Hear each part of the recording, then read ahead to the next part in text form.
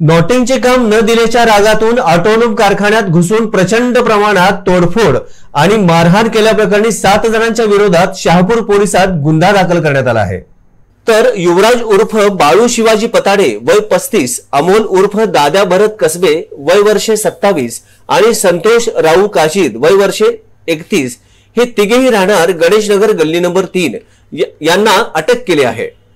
या तिघांना न्यायालयासमोर हजर केले असता तीस ऑगस्ट पर्यंत पोलीस कोठडी सुनावण्यात आली.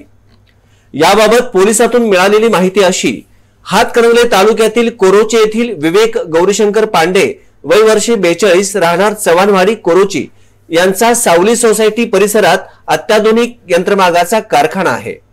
या कारखान्यातील लॉटिंगचे काम देत नसल्याच्या कारणावरून मंगळवारी रात्रीच्या सुमारास गणेशनगर येथील युवराज पताडे यांच्यासह सात जणांनी विवेक पांडे यांना मारहाण करत ऑटोलूम यंत्रमागाच्या पॅनलची नासधूस केली. त्याचबरोबर यंत्रमागावरील बिमे हातातील शस्त्राने कापत पेटवून दिली. या प्रकारामुळे परिसरात भीतीचे वातावरण निर्माण झाले होते. या प्रकरणी शहापूर पोलीस ठाण्यात सात जणांच्या विरोधात गुन्हा नोंद झाला असून आज युवराज पताडे अमोल कसबे संतोष कासीद या तिघांना अटक केली आहे.